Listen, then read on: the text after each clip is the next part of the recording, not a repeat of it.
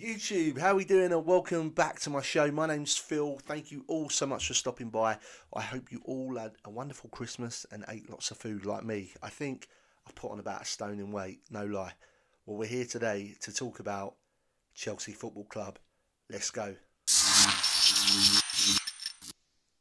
Now, guys, thank you, as I just said, for joining me today. Now, where do we start with Chelsea at the moment? Should we start with Arsenal? Man, I watched them against Arsenal, and for me personally, I think Arsenal played them off the park with their new young team that, that seems to look good. I've always been a big, big fan of Arteta, a massive fan. Chelsea just didn't turn up. Kovacic was amazing. Yeah, let's give some props to Kovacic. I thought he played well, but then they took him off and brought Jorginho on. I just don't get Jorginho, guys. Sorry at home if I'm a sounding like I'm someone who doesn't, you know, really like Jorginho. I do, but I think his style of play is much better suited to Serie A. It's not suited to the Premier League. Now, when I see Jorginho play, it's just negative football. It's that pass back mentality, pass back, pass back, pass back. The only positives I can take from the Arsenal game, for me, watching it, was Kovacic. That, that's all I've got to say about the Arsenal game. It was a poor game. Chelsea were outplayed, Arsenal were a better team, and Kovacic, you can kind of take a bit of encouragement and say, you know what, Kovacic is, is our best player. And I, I will stand by this. At the moment, for me, Kovacic is the best player at the club for consistency. Let's talk about Villa. Villa, man. For me, Villa looked like the team that wanted to win the game. Everyone's going, yeah, it should have been a draw. But I, I watched the game and I thought Villa were a better team. First off, yeah, you can say towards the end we look better. Giroud's goal was fantastic. Giroud needs to play, guys. Giroud needs to start week in, week out because at the moment, that kind of long ball that we're putting into the box, Werner's not going to be able to score if we play him up front because he, he's not good in the air. And although Tammy Abraham's quite tall, he's not good in the air. So at the moment, because Giroud is so powerful in the air, Giroud needs to start. Now, against Villa, let's talk about um, more in depth. I, I kind of look at the Villa game and I think, what positives can we take from that game? There's a few.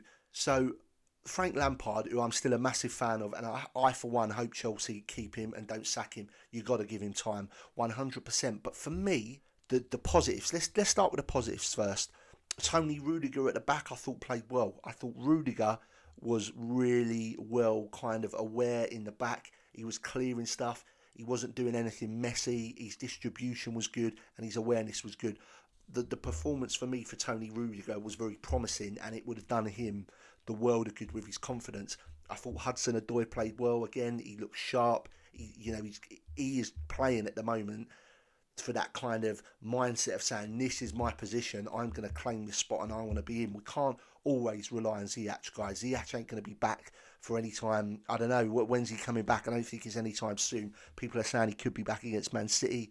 I, I can't see it. But for me, Hudson Odoi, the vision, his philosophy on the pitch, his energy, his power, that was a positive. So Tony Rudiger for me, Hudson Odoi, Giroud, Giroud has to start. When Giroud starts, I feel so happy. When he's taken off sometimes, I'm like, again, let's go back to Arsenal. Giroud should have started for me personally. So let, us talk about, they, they were the two positives for me, Tony Rudiger and Hudson Odoi.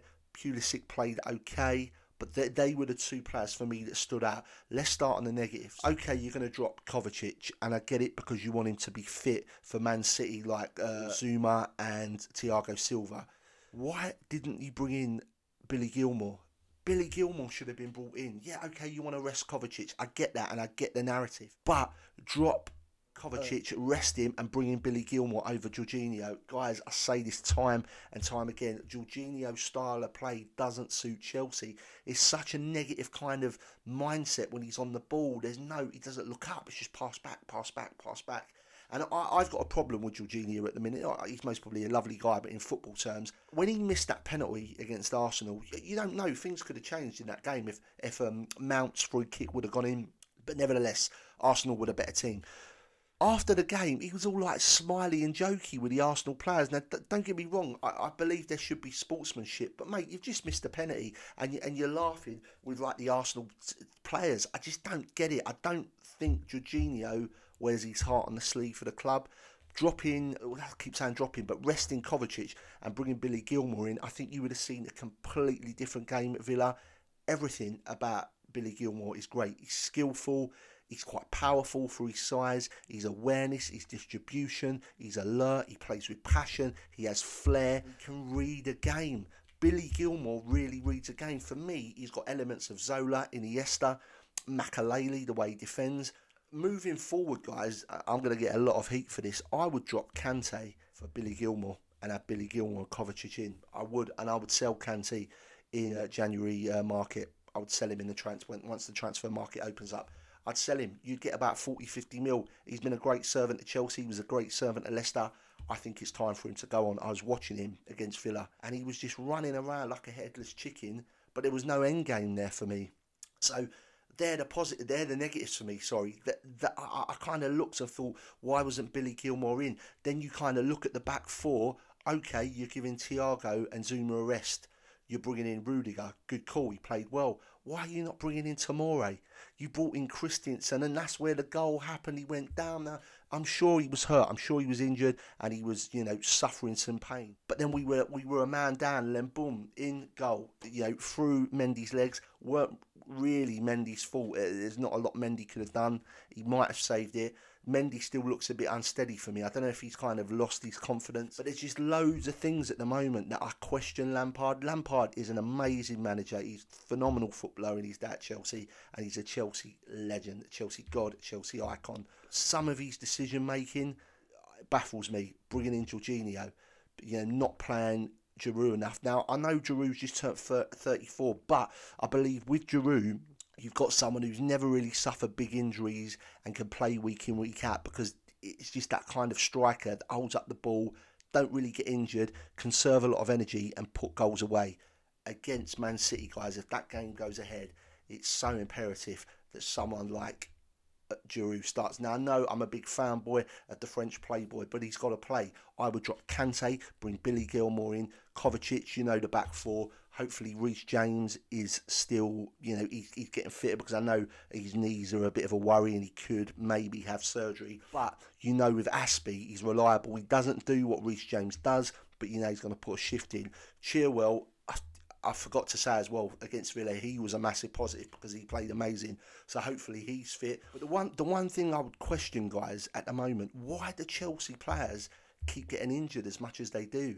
Is something happening at the training ground? Is training too kind of hard? Is it too intense on the players? Is the schedule too intense that they're not recovering enough? I don't know, but you know, Ziyech is injured. Pulisic comes back. He has a few good games. He gets injured. You know, Chilwell, uh, Reece James. It's a worrying sign now. I know Silva's not going to be able to play every game, but he surprised me with his fitness. If I'm honest, you know, he seems to be there, up for the game, ready to go we can't rely on Ziyech, guys. I, I, I, think this narrative that oh when Ziyech comes back we can't rely on him and we can't play Werner on the wing anymore. I know that he was dropped for Villa. Do you chance it against Man City and play him up front? Maybe, but I would start Giroud personally, uh, and then maybe start Werner in the um, World Cup, the, the FA Cup. I would start him in the FA Cup and get get him out and see how he does up front. But we can't play him on the wing anymore, guys. It's impossible to play Werner on the wing. It just doesn't work. He, you know, he's lacking confidence. Maybe starting him up front, he may score a couple of goals. That confidence may come back, and so on, so on. Scores goals, scores goals. The, the, the great thing at the moment for me is that the league's so open. Chelsea are, you know, two wins away from maybe being second in the league now, a few months ago, I know I give Ollie some flack at United, but look how United have turned themselves around and they're up there. Hopefully, Frank does the same. Man City is a must win if the game goes ahead. If the game doesn't go ahead, I'm kind of looking at it as well, at least players that are out injured have got time to rest and get fit.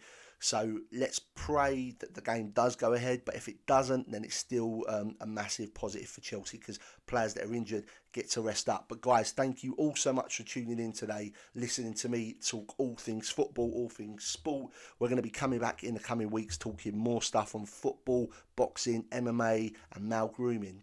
Yeah, I've just said it, mal grooming. Should be fun. Thank you so much for stopping by, guys. See you soon.